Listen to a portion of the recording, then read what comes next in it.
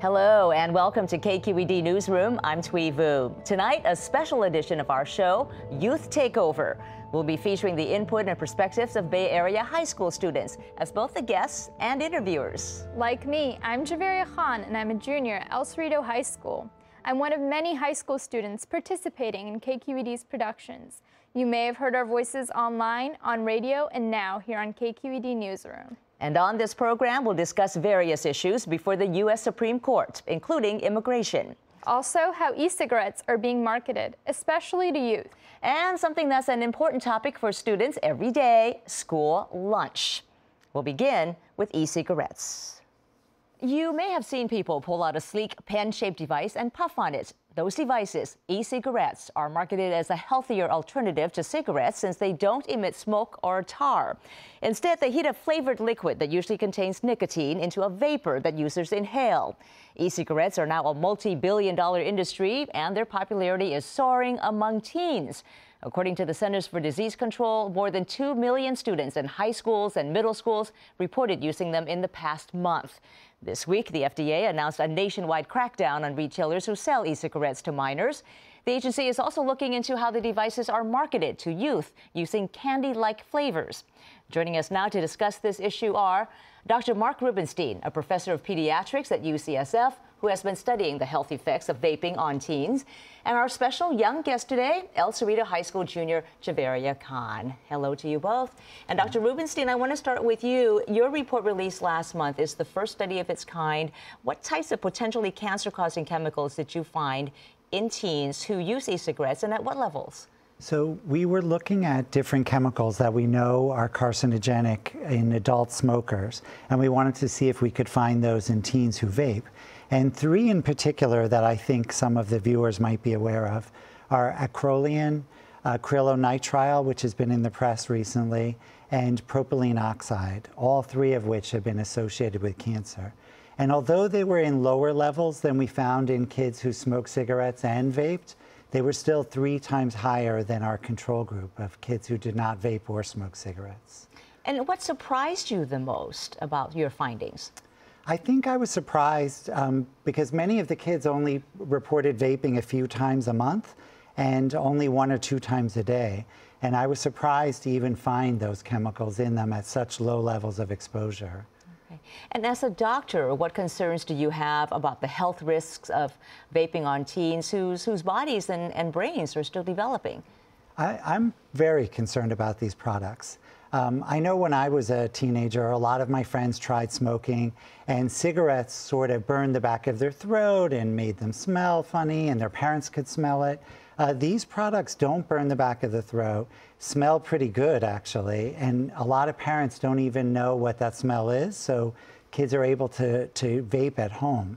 And unfortunately, because these products have nicotine in them, and nicotine is highly addictive, I'm afraid that many of these teens are going to become addicted to nicotine because of these products. But what about flavored e-cigarettes without nicotine? Are those dangerous as well? Well, we think that they are. In fact, in my study, we looked at some of those products as well and found the same cancer causing agents in those products.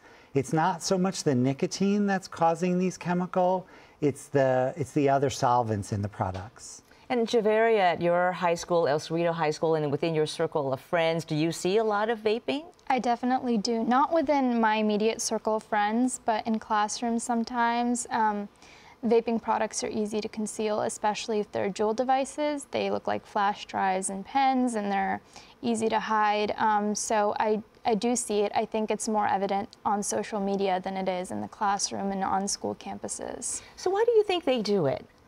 Um, so I spoke with three teenagers at our school this past week to talk to them about vaping and why they do it. And what they seemed to, to tell me was that the reason they do it is because it helps them uh, feel better about themselves and they feel more accepted in their friend group. They think that it is something that's cool.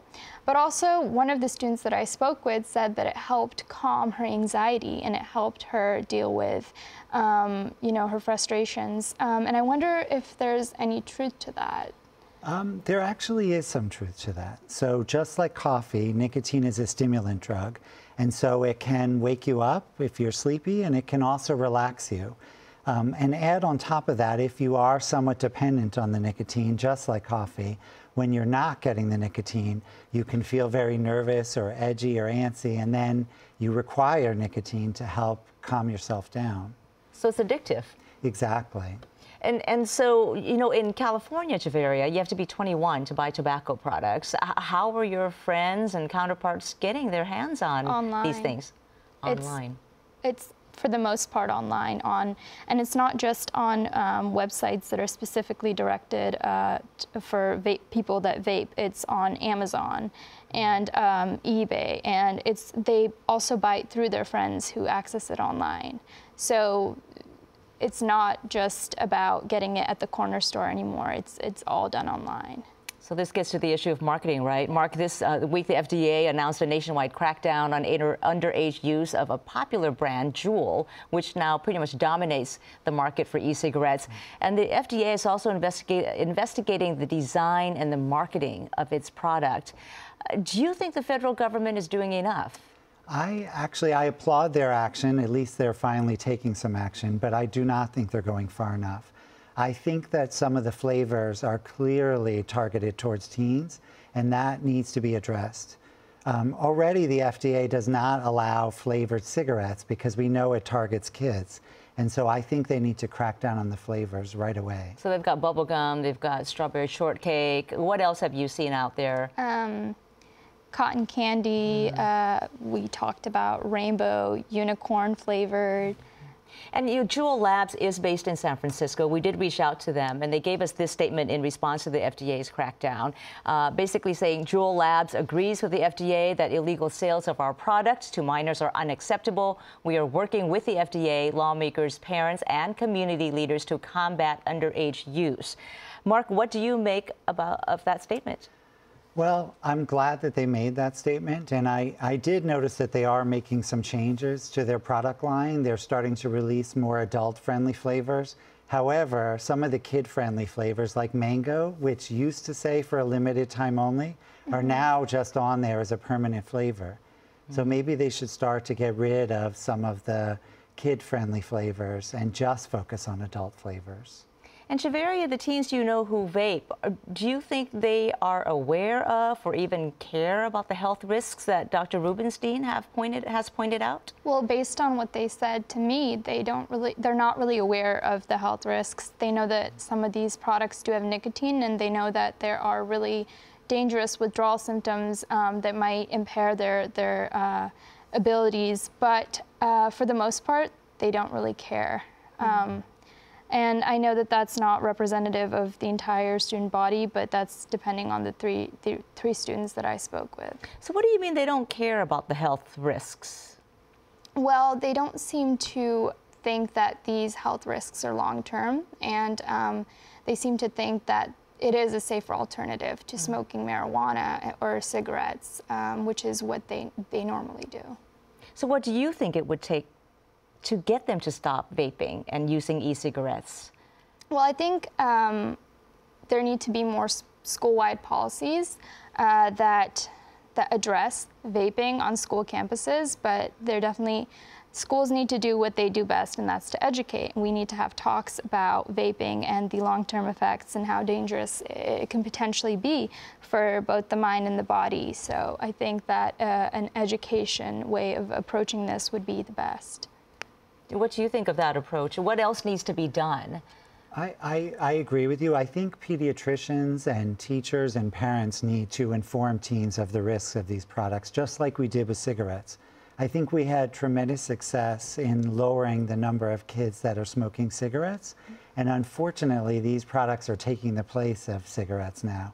So if we could help kids learn that these are also risky and that there should be nothing in your lungs besides air, I think we would go a great distance in, in helping to get kids off these products. And Dr. Rubinstein, what do we still not know about e cigarettes that concerns you? Um, I think there's still a lot we don't know about the flavors, the chemicals that are used to make these flavors that we talked about, the cotton candy, uh, the crazy mixed flavors. We just don't know what happens when you heat those chemicals to the temperatures required for vaporization and what happens to lung tissue when that when those chemicals hit your lung tissue. And a lot of those uh, chemicals are being studied right now so that we can hopefully learn this. Okay, still a lot of unanswered questions. Dr. Mark Rubinstein with UCSF, thank you very much. And Javaria, of course, thank you for being with us for Thank this you. discussion as well. Thank you. Thank you. Turning now to the courts. This week, a federal judge in Washington, D.C. ruled against the Trump administration on DACA, the program set up to protect from deportation undocumented immigrants brought here as children. In the ruling, U.S. District Judge John Bates called the move to end DACA, quote, arbitrary and capricious. The Trump administration now has 90 days to challenge the ruling. Otherwise, DACA could be completely reinstated. Also this week, the U.S. Supreme Court heard arguments on the Trump administration's travel ban. Joining us now with more on this and other legal developments is Professor Rory Little with UC Hastings College of the Law. Professor Little, always nice to have you here. Happy to be here. Thanks. Well, let's begin with DACA. With um, Judge John Bates' decision, it goes further than two other prior rulings, uh, putting DACA on hold because basically it's it orders the Trump administration to accept new applications um, if it can't issue a new memo that's satisfactory to the judge within 90 days. So my question is, what impact does this latest development have on all the various litigation out there over DACA? Well, the, the most important thing may be that Judge Bates gave 90 days to the Trump administration to revise its order. And if they can come up with a better explanation that sort of fulfills whatever his requirements might be, then the re- revision or rescission of DACA would go into force. So it's a, it's a broad ruling because it says if you don't meet my requirements within 90 days, we're going to accept new applications as well as do the old ones. The current uh, other two cases say just the old ones. So this would be much broader. But it the- seems like he's giving them some leeway then, the Trump administration. yeah, he's given them three months to sort of come up with a new explanation. It's kind of like the travel ban case where they did one, it was really terrible, it was struck down all over. Two didn't work very well. Then they did three. Three seems a little better. They may do that with the DACA explanation. We'll see. Maybe Congress will also do legislation. That's the more important uh, place to play right now. And over the next 90 days, what do you think will be the Trump administration's main argument against keeping DACA?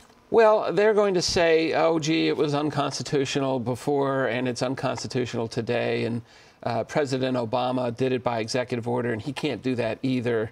They'll make these same arguments that you heard, uh, you know, two years ago. Um, but I think they'll also go to Congress and say, come on, you guys could do this with legislation and maybe we'll get some actual legislation, which would be valuable for everybody. But that's not going to happen within 90 days. But we'll see. Uh, Congress rarely does anything within 90 days. No, but they do have the votes for this. The frustrating part is they do have votes for some version of DACA. They just can't sort of agree on the details, and they put other things ahead of it. You're right. They, they, they in a sense, don't prioritize things the way maybe you and I would. Um, but they can do it. Um, we'll see. This summer is uh, recess time. You know, they're all gearing up for the midterm elections. Right. And meanwhile, two appellate courts uh, in Northern California and New York are also weighing cases on DACA. So, does the ruling out of Washington this week by Judge Bates uh, change anything for those two cases? I think those two cases granted preliminary injunctions and said that uh, you have to at least process the old applications that were in on time. They didn't extend to accepting new ones. And those will continue, those cases will continue on towards some kind of trial or evidentiary hearing.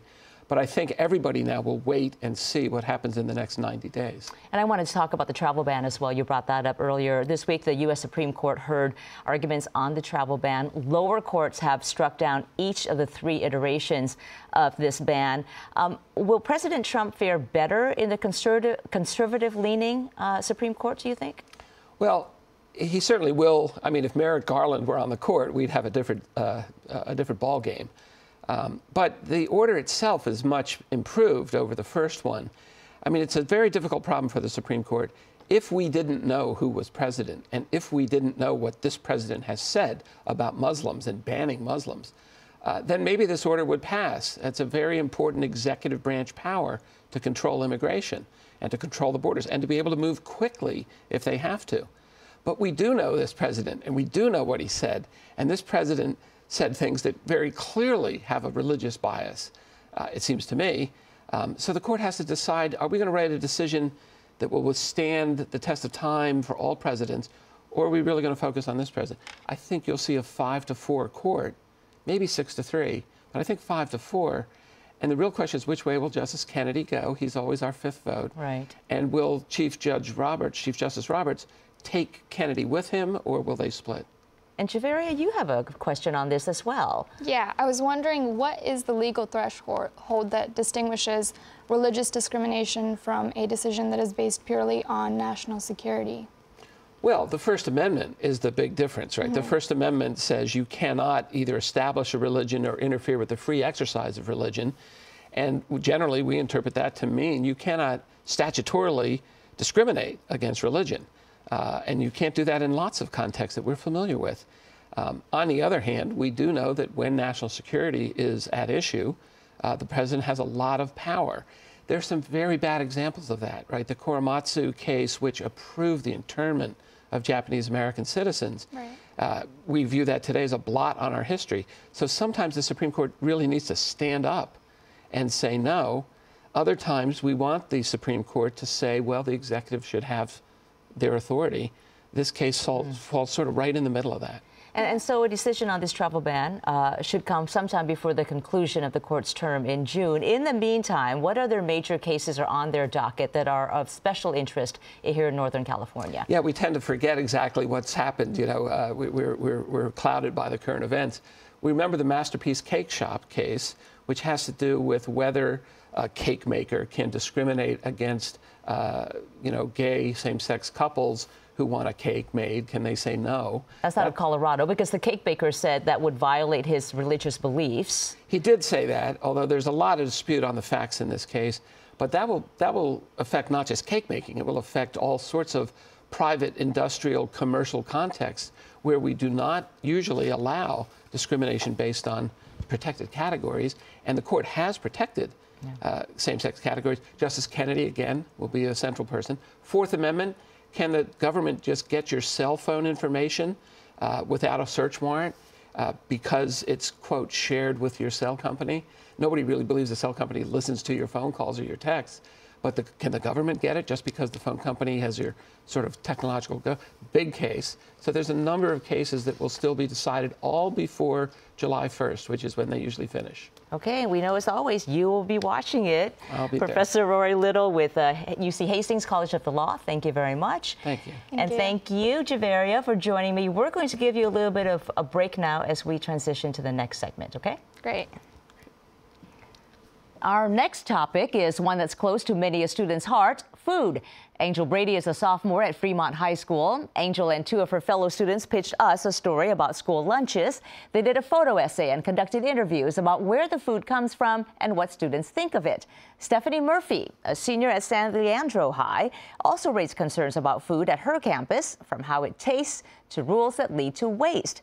At Santa Clara High School, variety doesn't seem to be a problem. Students there get Indian pizza, roasted chicken, and plenty of fruits and veggies. But according to sophomore Alina Joffrey, the lines are too long and popular items frequently run out. All three join me now in the studio. Stephanie Murphy, a senior at San Leandro High School, Angel Brady, a sophomore at Fremont High, and Alina Joffrey, a sophomore at Santa Clara High School. Nice to have all of you here. Nice to be here. So, Stephanie, tell me about the school lunches at San Leandro High. What are they like?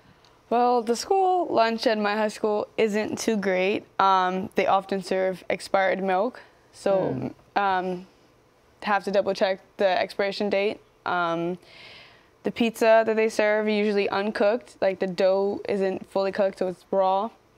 Um, the fruit mushy and brown, most of it a lot of times. Um, the peanut butter and jelly they serve, um, it's prepackaged and it's frozen most of the time. It's still frozen by the time you get it? Yes, hard as a rock. Okay. And um, the salads, I thought that would be a healthier alternative, but the chicken inside is very rubbery, very rubbery. So none of that sounds too appetizing. Alina, same experience at your school? Mm, actually, think, hearing her answer makes me more grateful about my school's food. Um, yeah, there's a lot of variety, and the taste isn't too favorable, but it's not as bad as, mm. as what she's saying. And Angel, what's your experience like with your school lunches? Um, kind of just writing off what Stephanie is saying. It's a lot of the students just don't like it. Um, a lot of the food could be quite mysterious. We don't necessarily know what it is, or it's kind of hard to identify it when they put it out there. Um, and just overall, it just tastes bad. So then what do you do? Do you just go hungry? Um, a lot of the times, I'll just wait till I get home. I'd rather wait to get home and enjoy something rather than be at school and just eat something just to fill myself up. Same. Same with you? So then how, if, if you're skipping lunch uh, and you're going hungry, how does this affect your ability to learn? Um, well, greatly. Um, and when I'm in class and I'm supposed to be like learning the lesson, I'm asking everyone in class if they have food that I can have instead of paying attention. So your mind is on uh, food rather than on learning and whatever's in front of you, math, English, science, oh yeah, whatever. no, it's not about that. It's about feeding my body. how much of this is being a teenager? You know, sometimes teenagers don't eat lunch because it's not cool. The older kids think, you know, they should be doing other stuff during their lunch breaks. So how much of this has to do with the quality of food and how much of, of it is just being a teen? Well, I think I don't think that's the case for students at my school. Teenagers, they're just all about eating. But uh, the food at our school, um, you see long lines at the cafeteria all the time, but you don't exactly see students enjoying the food. Um, some of the food is good, but just some of the food students just don't like, and they just don't want to eat. So that's basically the reason why some students just don't eat food at lunch. And, and many of the schools, though, there are mandatory rules where you have to pick up a fresh fruit or veggie in addition to your entree. Um, Angel, do you do that? And do you actually eat everything on your plate? A lot of the time, there's only one thing that the students want on the plate.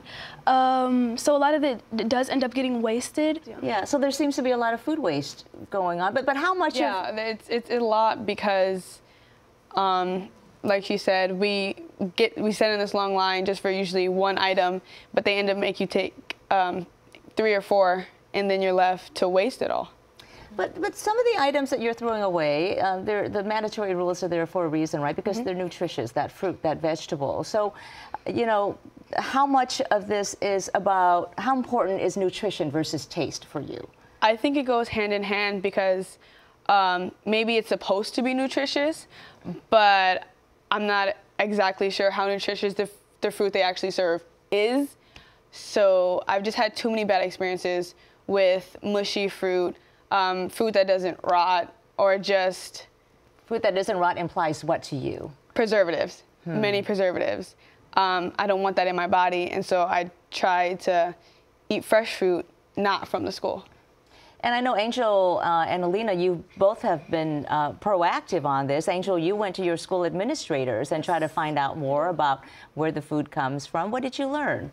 When I spoke with Allison Hill, our school's vice principal, she wasn't able to give me a lot of information as to how the food is being processed and how nutritious it is. Um, she was just telling me how she didn't know a lot of information about it, and I feel like that that's a problem because administration and staff at our school should definitely know what's being provided or given to the students or how healthy it is and how it could affect the students. And Alina, what did you find out when you mm. did some reporting? Uh, it was more of the opposite for me. Um, the admins seemed to know a lot about what was going in their body, and they were a lot more into it. They loved the variety, and uh, the nutrition's director that I talked to, Karen Luna, she was talking about how she just wants the best for students, and she just wants all the food that the students want to see. And you also reported on a new program where the school district is growing its own produce on a farm. Uh, yeah, uh, they started in August. They've been growing lots of variety, and that's basically where all our produce comes from. It comes from local farms and mostly our district farm. So that's why produce is more favorable, in my opinion. I prefer the produce a lot more compared to the meals. So it's making a difference. You're actually eating the produce Yeah. at Santa Clara High School. Okay. What are some of the other approaches or innovative changes that you would like to see schools make that would get you to eat school lunches? Definitely growing our own food, uh, seeing that it comes from the ground with no added preservatives would definitely make um, me and I feel like my fellow my fellow students want to eat it. And Angel? If we got the students more involved in how the food tasted, if we could have student taste testers or just just students to kind of voice their opinion on how they like this meal or if, if it should even be served in the cafeteria just to um, give more student like students should have the option to like suggest if they're okay with this being served in their cafeterias. And as you um, speak to other classmates, how big an issue is this on campus? The fact that students are not eating, they're going hungry. Um, it's big because administrators are always telling us to eat healthy, but then you serve us bad food, which makes us not eat, which makes us go buy hot chips um, at the corner store, and then we're eating hot chips for breakfast and lunch, Yeah. which aren't nutritious at all. Same experience with you at your schools, a lot of Mm-hmm. Kids just choosing not to eat. Yeah. Uh, I think a lot of students they want to get lunch from the cafeteria. They wait in that line to get food, but they just end up not being into it and just rather preferring hot chips at the corner store. And so, where where do you see this going from here? I know that you've been very Mm-hmm. active in reporting on this. What are you trying to push administrators to do next? Um, I think to be less wasteful, when students uh, look at the meal, they think, oh, that looks good, let me try it. They don't like it and they just throw it out. I think it would be interesting if a student could try the food beforehand. So instead of um, buying it and not liking it and throwing it away, they could be like, oh, that's not good, let me just get this grilled cheese that I always like for lunch. So they always have something to eat and not have to waste food. Okay, well, it's been very interesting to get your perspectives on this. Thank you so much, Stephanie Murphy with San Leandro High School, Angel Brady from Fremont High, and Alina Joffrey from Santa Clara High School. Thank you all. No problem. Hey, Javaria, thank you so much for being part of our show. Well, thank you for allowing me the opportunity to be here and to be a part of the youth takeover. It has been a great, fun experience for all of us. has. And as always, you can find more of our coverage at kqed.org slash newsroom. I'm Thuy Vu. And I'm Javaria Khan. Thank you for joining us.